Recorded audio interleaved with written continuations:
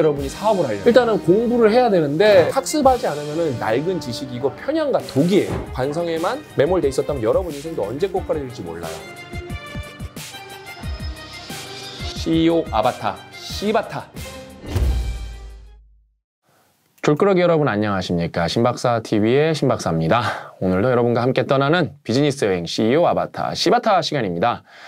이제 저는 여러분 그 로크미디어 이사님이 계시는데 이제 대표님이 계시고 이사님이 계시고 이제 팀장님 계시고 직원분들이 계시는데 저는 이사님이랑 제일 친해요.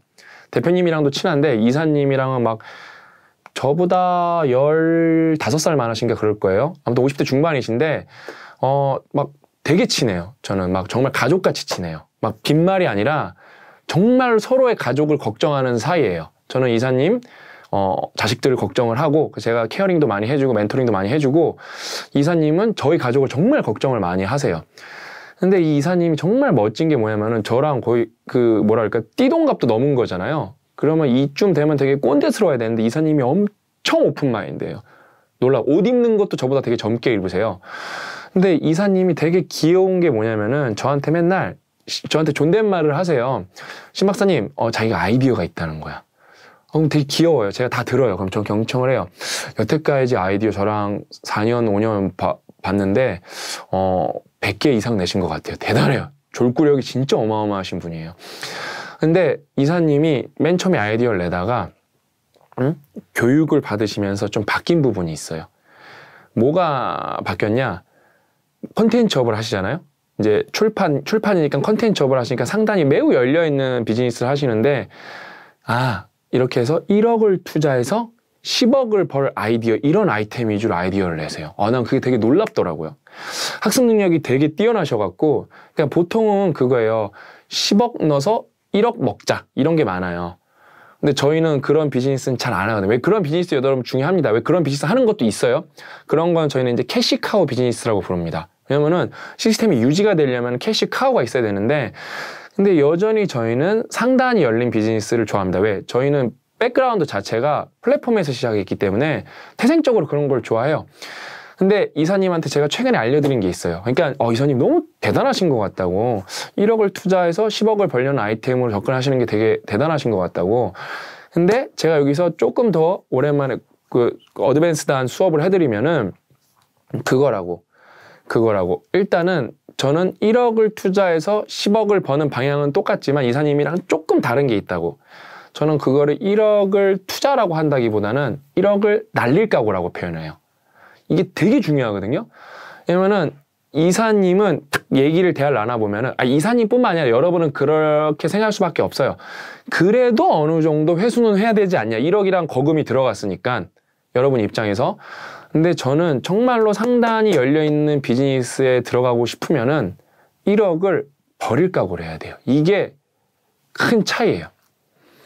그러니까 그래서 책 오늘 유튜브 제목이 뭐죠? 기대하지 않는다. 저는 정말로 투입한 순간 그냥 잊어요. 이미 이건 내 돈이 아니다라고 생각을 해요. 이미 내, 내 손을 떠났다요. 이미 내 손을 떠났다요.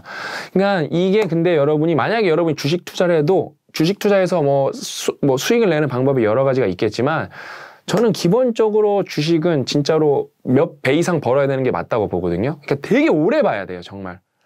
그러면서 내가 오래 기다리면서 시간에 초조해하지 않으면서 팍 튀어오르는 구간에서 내가 그걸 두 배로 수익을 내겠다, 세 배로 내겠다, 열 배로 내겠다 산정해놨으면 그때 수, 수익을 실현해야지 이거를 맨날 5% 10% 이렇게 보고 있으면은 여러분 시간도 어마어마하게 뺏기고 다 뺏깁니다. 다 뺏겨요. 예? 그냥 그래서 만약 우량 주면은 그냥 말 그대로 예? 그냥 이렇게 펀, 그러니까 지수에다가 예? 인덱스에다가 그 여러분이 여윳돈 5% 5% 정도면 여윳돈 할 수 있거든요. 웬만한 사람이면 그걸로 매달 꾸준하게 사는 거예요. 왜? 경제는 발전할 거니까. 근데 또 안 발전할 수도 있습니다, 여러분. 안 발전할 수 있어요. 아무도 모르는 거예요. 그래서 제가 이제 여러분한테 이런 걸 왜 알려드리냐? 결국에는 벤처 캐피탈, VC라는 사람들, 스타트업에 투자하는 사람들 있죠? 그러니까 뭐, 뭐, 우버 같은 데가, 어, 뭐, 이렇게, 그러니까, 우버 같은 데가 뭐, 뭐, 시리즈 뭐, D, 뭐, 시리즈 C를 할 때 막, 막, 막, 예를 들어 손정의 같은 사람들. 그래, 쉽게 말하면 되겠네요. 손정의 같은 사람들이 이제 커다란 펀드를 들고 여기저기 투자해서 뭐, 쿠팡에도, 쿠팡 아직 상장 기업 아니잖아요. 뭐, 1조도 투자하고 막 그러잖아요. 기본적으로 이런 VC들의 마인드들은 정말로 1조를 투자하면서도 날릴 각오가 돼 있는 사람들이에요. 그래서 뭐예요? 예를 들면 1조는 너무 사이즈가 크니까 그러니까 어때요? 100억, 100억, 100억, 100억, 100억, 100억을 아니 뭐 1억, 1억, 1억, 1억을 100개를 투자를 해서 99개는 날리는 거예요. 그럼 99억 날렸잖아요.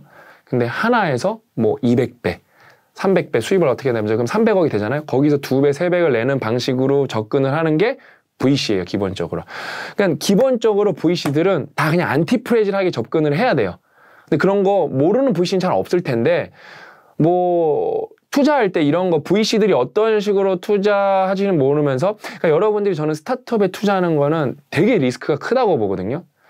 그러니까 정말로 이때는 내가 팬심으로 접근해야 돼. 여러분이 진짜 상장 기업에서 분할 매수해서 조금 조금씩 이렇게 투자할 거 아니면은 정말로 넣은 돈은 아까 제가 여러분들한테 말씀드렸죠. 이사님한테 말씀드린 것처럼 이거는 나는 열배를 목표로 한 거기 때문에 뭐 다섯 배를 목표로 한 거기 때문에 완전 잊을 수가 있어야 돼요. 완전 잊을 수가 있어야 돼. 근데 그게 거의 그럴 수가 없어요. 그 다음에 여윳돈이라는 게 정말로 잘 없어요. 잘 없어요. 그러니까 웬만한 출판사들, 그러니까 작은 출판사들 있거든요. 영세 출판사들은 판권을 선인세를 3, 4천만 원짜리 살 수가 없어. 저희는 살 수 있거든요. 왜냐면은 특히 책 같은 게 전형적인 이런 구조예요. 여러분이 3천만 원을 본전을 뽑으려면 몇만 권 단위로 팔려야 되거든요. 근데 우리나라 99%의 책은 2천 권이 안 팔리기 때문에 뭐, 이, 뭐, 그러면 얼마요? 뭐, 2,900만 원 날릴 까고 하고 사야 되는데, 출판계는 전형적인 복잡계 비즈니스예요. 전형적인 복잡계 비즈니스입니다. 그래서 아무튼, 뭐, 이거를 기대하지 않아야 되는데, 생각보다 이거를 내가 뭐를 투자했으면은, 말은 그렇게 해도, 아, 나 이건 기대하지 않아. 다 날릴 까고 돼 있어. 근데 아닌 사람이 너무 많아요. 제가 주변에 보면은. 왜냐면 진짜 잊어야 되거든요. 그거 넣었으면은. 특히 이런 바, 10배. 상단이 어마어마하게 열려있는 비즈니스에 들어갔다고 하면은. 근데 그거를 생각보다 제가 대화를 나눠보고 얘기를 들어보면은 그래도 내 돈은 어떻게 회수가 되지? 이런 얘기를 해요. 그분들은 애초에 그냥 잘못 들어간 거예요. 애초에 잘못. 그게 또 어디다 적용이 되냐? 유튜브 하시는 것도 똑같아요. 여러분이 유튜브가 비용이 안 들어가는 게 절대 아니에요. 왜냐면 여러분이 시간이 들어가기 때문에 한 시간을 일했으면 우리나라에서 한 시간 얼마죠? 주휴수당 치면은 만 원입니다. 뭐 근데 또 그렇게 알바를 못 얻는 분들도 있을 거예요. 근데 그래도 보편적으로 만 원은 벌 수 있는 돈인데 그러면은 그거를 잊어야지 어때요? 근데 전업 유튜버처럼 해갖고 여러분이 이거 나는 언젠간 터질 거야. 나는 언젠간 터질 거야. 이것만 믿고 있으면 어떡해요? 앞에 얘기, 이사님 얘기부터 VC 얘기부터 유튜버 얘기까지 다 똑같은 맥락이에요. 상단이 열려있는 비즈니스, 유튜브도 어마어마하게 상단이 열려있는 비즈니스거든요. 이거를 여러분이 잘못 생각했다? 그러니까 내가 언젠가는 잘 될 거야. 잊지 못하고 내가 언젠가는 잘 될 거야. 이렇게 마음을 먹고 있죠? 골로 간다는 거예요. 그러니까 제가 이거는 뭐 아니 뭐, 뭐 맥락만 다르고 주제만 다르고 소재만 다르지 다 똑같은 얘기예요. 뭐 VC, 유튜브, 출판 이사님 전혀 다른 사람들이란 말이에요. 다른 일이고 실제로. 근데 어때요? 거기서 생존 방법은 딱 하나 안티프레질밖에 없다는 거예요. 예? 상단이 열린 비즈니스에 들어갔기 때문에 어때요? 들어간 돈은 정말로 그냥 실패의 비용을 감수할 수 있는 사람만 들어가야 되는 거지. 그래서 유튜브를 절대 major job으로 하면 안 되고 side job으로 해야 된다는 거예요. 그러면서도 안 되는 게 정상이다. 그냥 자기 만족을 하는 게 되게 중요해요. 예? 언젠가는 될까? 이거 믿고 있죠? 절대 언젠가는 안 돼요. 거의 99.9%를 안 돼요. 그러니까 제가 오늘 이사님부터 이렇게 쭉 VC 막 진짜 이렇게 쭉 내려왔는데 오늘 테마가 좀 너무 좋은 것 같아요. 그러니까 이런 유의 비즈니스니까 이게 상단이 열려 있고 복잡계고 운이 많이 작용하는 곳이고. 예? 근데 여러분 그런 거는 달라요. 예를 들어 여러분이 식당이 열렸다. 식당에서 마케팅은 마케팅은 복잡계지만 어, 식당 자체는 복잡계가 아니에요. 열심히 하고 여러분이 만약에 웬만하면은 예를 들면은 여러분이 어, 배달 전문 뭐 불고기집을 해서 뭐 어디지 그런 뭐 배달에 배민에 들어가 갖고 조금 광고하면은 무조건 그거는 뭐 열려있는 상단도 닫혀 있고 여러분이 하루에 만들 수 있는 도시락이 정해져 있으니까 생각보다 리스크가 적기 때문에 안정적으로 캐시카우를 내면서 돈을 벌 수 있는 일이 있어요. 근데 그걸 여러 개 하면은 생각보다 돈도 많이 벌 수가 있죠. 근데 이거는 정말 계속 꾸준히 해야 되는 거죠. 그러니까 저희는 그런 일도 한다니까요. 팀장님이 앞에 계신데 저희는 B2B로 영상을 외주 제작을 받아서 해요. 이거는 정해져 있어요. 우리가 할 수 있는 개수도 정해져 있고 액수도 정해져 있어서 저희는 그런 일을 안 하지 않습니다. 해요. 예? 근데 어때요? 근데 상단이 열려 있는 일들은 영상을 제작을 할 때 어떻죠? 그냥 무조건 날렸다고 생각을 하는 거예요. 날렸다고. 기대하지 전혀 않는 거예요. 그러니까 이 마인드를 되게 구축하시고 이게 어떤 분야에서 이런 일이 일어났냐를 제가 이거를 아마 제가 유튜브 할 때까지는 계속 설명하거든요. 왜냐면 이거를 알아듣는 분이 거의 없어요. 그러니까 왜냐하면 제가 뭐 가까운 분들이랑 얘기하면 그래서 1억은 어떻게 회수가 되는데 이 얘기가 결론은 너무 막 알아들었어 알아들었어 아 이해했어 아 막 그런 거구나 막 이렇게 하다 그래서 그러면 내 회수, 돈을 어떻게 회수할 수 있는데 이 얘기가 꼭 나오는 경우가 많아요. 액수가 점점 커지면 커질수록 커지면 커질수록 예? 그러니까 결국에는 손정희도 요즘에 힘, 손정희 회장도 힘든 게 뭐예요? 예측이 많이 들어갔었단 말이에요. 뿌리긴 뿌리는데 그래서 어디에요? 위워크에다가 돈을 어마어마하게 투자했는데 위워크 쫄딱 망했단 말이에요.